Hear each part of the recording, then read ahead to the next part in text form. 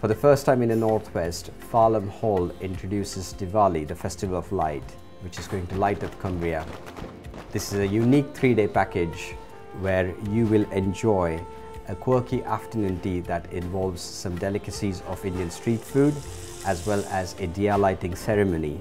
After that, on the second day, there will be a fireworks celebration in the kitchen garden of Farlam Hall, followed by a big feast of Indian street food. Some of the delicacies will be finished by our skill chefs in front of you. And then finally, get ready for a unique seven course tasting menu, a black tie gala dinner where incredible food, amazing wines come to your table. We look forward to seeing you on the 31st of October to celebrate Diwali at Farlam Hall.